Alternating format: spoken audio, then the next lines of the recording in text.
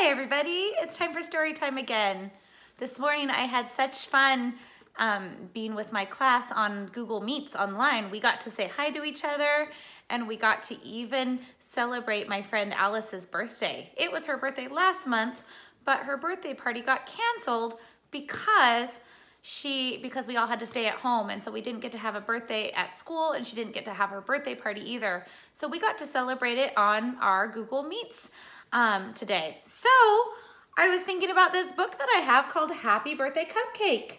Now, if you're in my class or if you've watched um, videos from my channel, you might know that we love the story Peanut Butter and Cupcake. And in that story, peanut butter is persistent.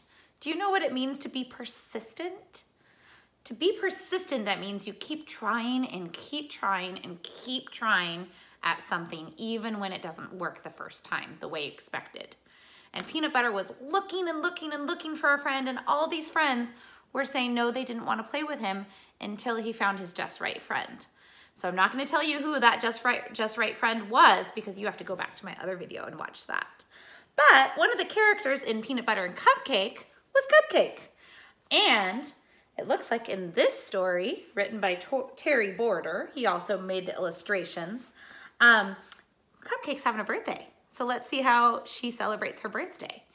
And I love Terry Border's stories because there's great words, but there's also such great illustrations. I love these books because sometimes my kindergarten friends tell me, I can't read, which is just absolutely not true because everybody is reading in some way. Some people are reading letters.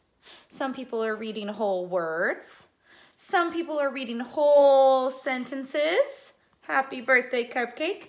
And some people are reading pictures and telling the story. And this is a perfect, perfect example of reading the pictures. Because if we did not pay attention to the pictures, we would miss a lot of the story. So read the pictures with me and listen with me. Happy Birthday Cupcake by Terry Border. there's some characters on that title page. Do you see?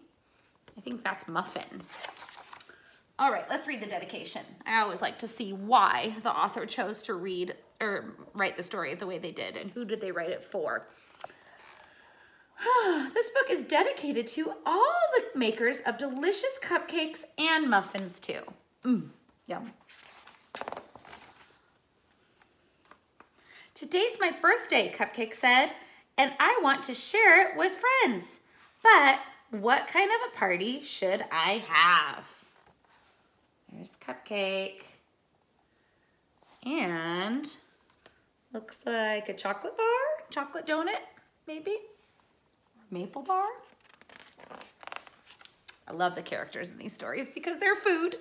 They're photos of food, and then they have wire for arms and legs. She called Muffin over to make a plan, and they took a long walk. I know, Cupcake said. I'll have a beach party. We'll make sprinkle castles and play in the sun.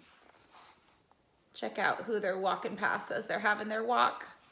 There's Cupcake, there's Muffin, there's Jelly and Peanut Butter. Oh, and Chocolate Donut. I think maybe that's kind of like their dog. Do you think? Okay, let's see about the beach party. That might work, said Muffin, but the beach is so hot and some of us might get drippy. Cupcake touched her frosting. Muffin was right. Ooh, who would get drippy at a beach if it was hot? Ice cream for sure. Donut. Chocolate. Yeah, for sure. I know, Cupcake said. I could get a big boat. Who wouldn't come to a floating party?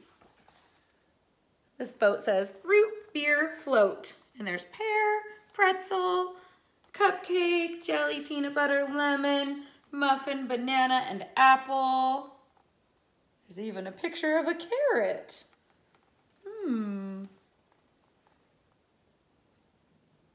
Be a picture reader right now and study the picture and see what you notice. Hmm, there's lots of details to notice, definitely. Look, There's a fishing pole with a fish.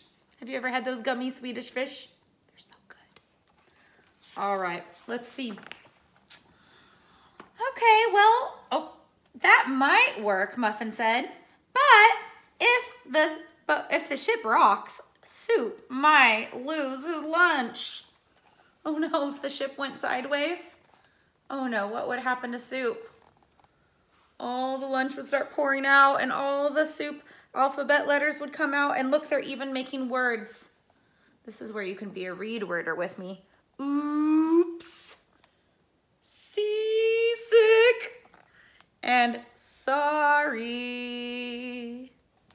Hey, kindergarten friends in my class.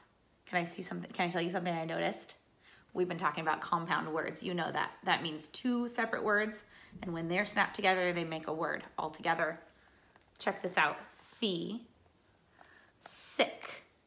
And when they are put together, it makes seasick. Ooh, there's a compound word. And check this out. If you were not a picture reader, you wouldn't even notice this mop. And on this mop, it's having to mop up the soup. That would not be a good make for a good party, would it? Yeah, good thing we're reading the pictures along with the words. Cupcake fidgeted with her wrapper. Muffin was right. She had to think of something else. I know, Cupcake said. I'll get everyone makeovers. It's so much fun getting frosted and sprinkled. Ooh, this looks like a fun party to me. Look, Cupcake's getting all decorated and Cookie over here is getting frosting and sprinkles and Muffin's getting some frosting and some gumdrops and this Cookie's getting some sprinkles and frosting too. Can you give me a twinkle if you think this would be a good party? I think so. Might not be everybody's type of party though. Let's see. That might work, said Muffin, but I think um, some of your friends would find makeovers icky. Just think about Hamburger. Cupcake felt like she was starting to crumble. Muffin was right again. Hamburger barely even liked himself with ketchup. Would this be the kind, right kind of party for her friend Hamburger? I don't know about that. I don't know about hamburger with a bun with frosting and sprinkles on top. Know, Cupcake said. We could play musical chairs. I could find a band. Ooh, so here's the chairs. Have you ever played this game? When the music goes on, you all have to walk around the chairs and when it stops, you have to find a chair. So here's, here's beans, kidney beans. Here's baked beans. Here's black beans. They've all got their different kinds of instruments. And it says the musical fruit on the sign. Musical chair party. Hmm. That might work, said Muffin. But if someone sits down really fast, you'll be squished. Oh, check this out. If Potato sat down on the same chair as Cupcake did. Oh, yeah. Cupcake would get squished. Egg, here's egg over here. Egg might crack. Oh no. Oh, let's see. Cupcake didn't didn't know what to do. She was running out of ideas. Well, what about limbo? She said. What with prizes for all the winners? Here's takeout food. Here's waffle, corn, and a big straw for the limbo stick. That might work for waffle, huh? Let's see. Big prizes? Asked Muffin. Oh, yes, that's that might work. But can you get low? Cupcake has so much frosting on. Can Cupcake get low? I don't know. I see some frosting coming off. Oh no. That would be a disaster. As they reached Muffin's place, Cupcake sighed. Huh. I'm going to go stale before I think of a good idea. Ooh, going to go stale. That's kind of a play on words because muffins and cupcakes in real life, when you leave them out on the counter for too long and you don't close them up or put them in the fridge or whatever you do to contain them, they go stale. They get dry. They don't taste so good. They taste a little funny. I might go stale before I think of, an, of a good idea. Let's just take a break in my garden, Muffin said. That might work, Cupcake agreed.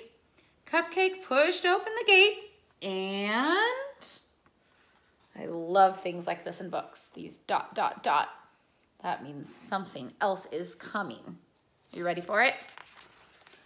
And surprise!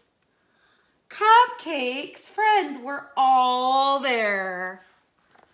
Oh, while she was trying to think of parties and ideas, all her friends were getting a party ready for her. That's a good kind of party. There's egg and lemon and peanut. And oh, they got their, I think that's a donut, maybe, dog. And potato and corn. We're all there. Oh my goodness. And while they were dancing, a few friends did get a little drippy. Cupcake didn't limbo too well and did get a little bit squished. Oh my god, there's a little drippy ice cream cone. And let's see, where's Cupcake? Oh, Cupcake did get a little squished because they gave her a fancy, fancy party hat. Mmm, donut's a little drippy, but it looks like they're having fun. She got a little squished, but it was still the best birthday party that anyone could remember. That's the end. I wanted to read this for my friend Alice today because I felt really sad that we could not celebrate her birthday last month at school. So Alice, this is a special birthday book reading just for you and I hope everybody else enjoys it too. I hope you're having a really good day at home. Even though today's not technically your birthday, I hope it's a fabulous day. And I hope everybody else enjoyed this story too. I'll see you next time.